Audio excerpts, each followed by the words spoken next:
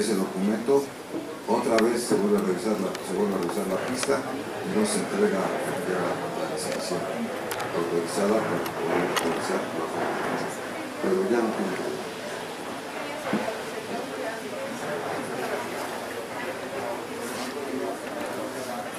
Bueno, tiene la limpieza final debe de ser este jueves. Entregaremos nosotros el, el documento el domingo que haremos una práctica general en el autódromo. Tendremos una práctica general de, de oficiales de pista privada, donde los oficiales de pista nuevamente tienen que hacer el ensayo. Y, y una vez una vez esto que se entregue oficialmente para que el lunes en la mañana estemos entregando la licencia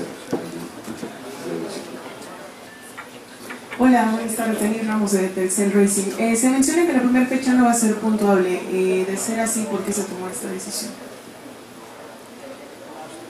No es por decisiones.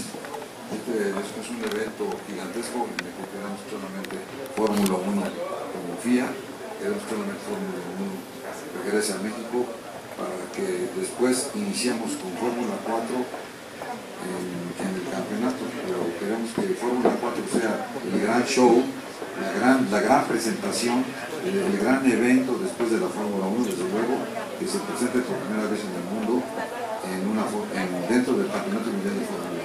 Por eso no lo hicimos como el principio del campeonato, sino el gran evento de Fórmula 1. Muy buenos días. Eh, buenos días a todos.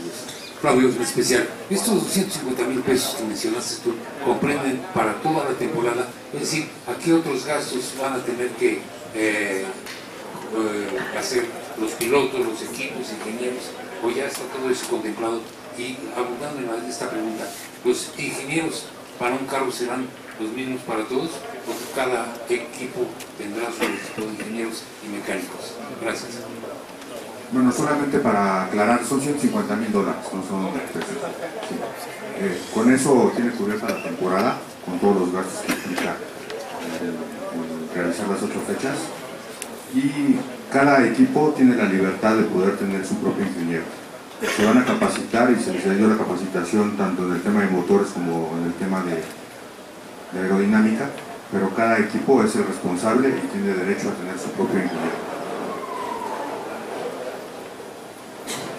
Además de que los equipos tienen su propio ingeniero, nosotros tenemos un grupo de gente en nuestra fábrica que va a estar asistiendo a todos los equipos para darles todos los tips. Yo tengo un ingeniero y un grupo de gente que con los que hacemos varias pruebas y sabemos cómo funciona el coche, cómo se agarra mejor, qué barra o qué resorte requiere.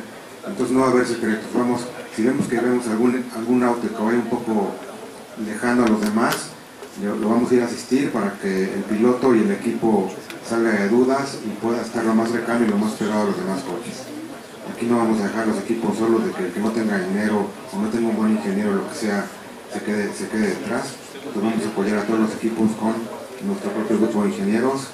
Ahorita van a llegar los ingenieros de Francia, tanto los motores y los chasis. Y junto con nuestra gente que ya está aquí en México, pues vamos a ayudar para que todo el mundo no tenga la menor duda de qué es lo que tiene que hacer con el coche.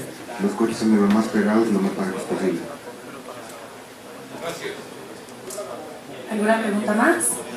¿Algo que quieran? Yo solamente, para poder cerrar, quisiera agradecerle, obviamente, a TVN, a Televisa, la oportunidad que nos están dando para poder hacer esta alianza.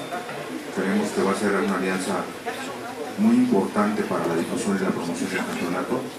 Y agradecerle a señor Tom Grábalos, director general de Pirelli, que no está aquí con nosotros hoy, que tuvo un compromiso, y a Andrés Martínez de Interjet, el apoyo que nos han brindado desde un principio incondicional para que esta categoría arranque de una manera muy, muy importante. Ese es solamente un comentario y quería dar las gracias a todos ustedes. Muchas gracias. Muchas gracias a todos, al público. Sí, nada más agradecer su presencia y reiterar nuestro agradecimiento a los señores Saber, a Román Domínguez, que han ganado la, la conferencia de prensa. Muchas gracias a ustedes. Claro que sí, muchas gracias a todos por su tiempo. Esperemos contar con su apoyo, gracias al podio. Felicidades por este maravilloso esfuerzo. Y bueno, señores, la Fórmula 4 ya está en México y la podrán disfrutar por Univisión TDN. Muchas gracias, que tengan buen día.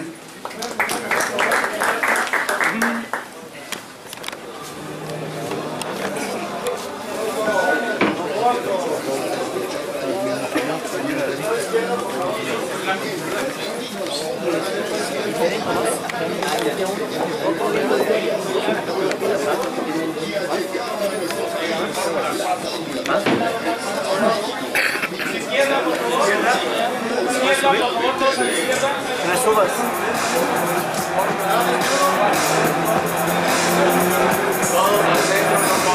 pilotos mexicanos ahora pueden tomar la pista rumbo a la Fórmula 1 en una categoría internacional que les retará con el mejor nivel competitivo y que les espera con los mismos autos que ya corren en Europa y Asia.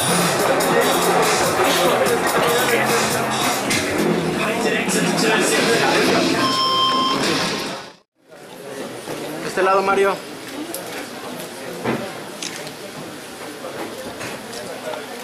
Al centro, los tres, por favor.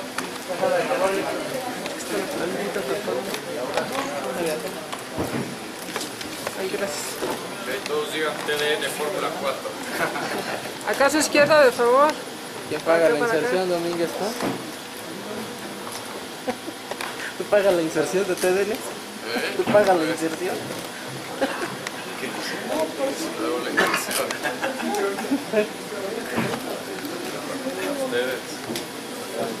Con este arrancas, Marion Paul. ¿Eh? Con este arrancas el Paul. Fácil. No, no igual no. Igual no tan fácil, pero quién sabe. Pero hay que ser más pareja la categoría porque este año Mercedes se la llevó de punta a punta. Incluso ya llega el campeonato definido por sectores de pilotos. ¿En qué vas a abocar a FIA? ¿Qué se ha platicado ya? Debemos de recordar que antes fue, antes de Mercedes pues, era Ferrari, antes de Ferrari fue McLaren y siempre hay un desarrollo eh, que encuentra cualquier equipo, cualquier ingeniero piensa más que el otro y pues es una guerra, ¿no?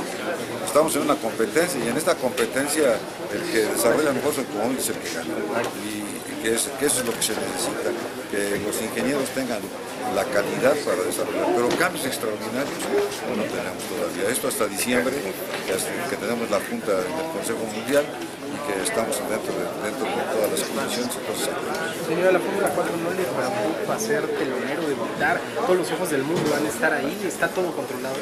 Claro que estamos, tenemos todo controlado. Debe usted de recordar que, que Hyundai tiene más de 25 años de estar dentro del ámbito mundial y que conocemos perfectamente bien todo el desarrollo del Fórmula 4. Participé personalmente con el señor Todd para desarrollar este automóvil. Para- primero fui a, revisar todas las fábricas que parecían realmente susceptibles de poder tener el Fórmula 4. El presidente Todd mandó a toda la ingeniería, que tenemos en FIA y logramos esta pelota. Y ahora ahí tienen ustedes enfrente el automóvil número 100. Entonces, si tenemos 100 automóviles de fórmula, los que sabemos de fórmula, que construir 100 automóviles no es fácil fórmula.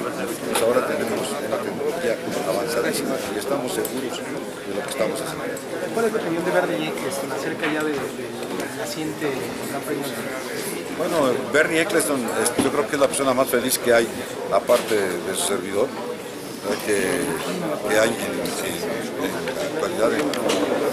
Porque todos los demás, por ejemplo, el señor Todd, pues él participó como algunas veces en el Campeonato Mundial de Resistencia al Vino con la Peugeot pero no vino en Fórmula 1, pero él, pero el señor Todd sí estaba y muchos de los que vienen estaban, y muchos de los pilotos que, que participaron regozaron de la gran e increíble armonía con la que trabaja México para realizar una Fórmula 1. ¿Tendremos la presencia de Bernie desde luego estará aquí el señor Bernie Eccleston, Jan Todd, Graham Stoker, todas las personalidades que manejan el automovilismo mundial estarán aquí presentes para acompañarnos a que el señor Soberón sí tengan un éxito. Queremos que ellos triunfen. Además de- la, entre- perdón, la entrega de la licencia o de esta visa, esa destiempo ya es unos días antes de que empiecen las actividades.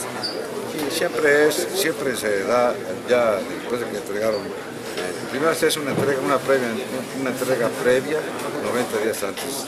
Después se da a los 45 días, se va vigilando para ver si, realmente se va a realizar.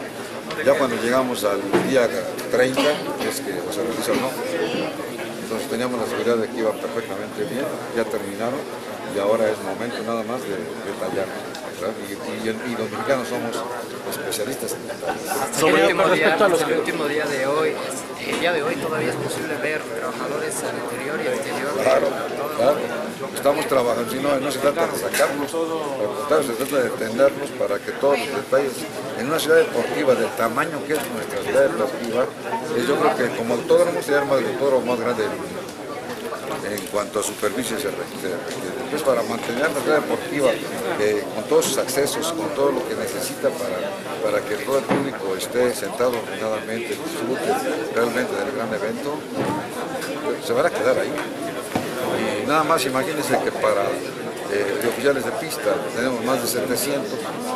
Ya imagínense la gente que se necesita para conformar todo, todo el espectáculo.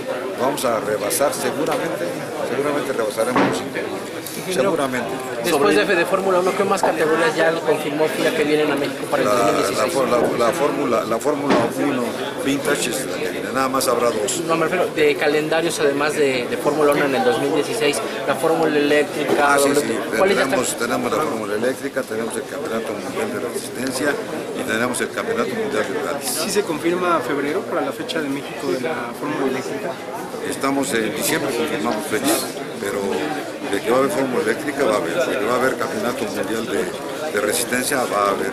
El señor Calderón ha hecho el esfuerzo, el gobierno de la Ciudad de México ha hecho el esfuerzo y el gobierno federal. Entonces, esos son tres personas, tres, tres, tres grupos que junto con Hyundai estamos provocando que, que venga todo a México para que México tenga los eventos más importantes que hay en el mundo en nuestra federación. Esas tres en el autódromo, ¿verdad?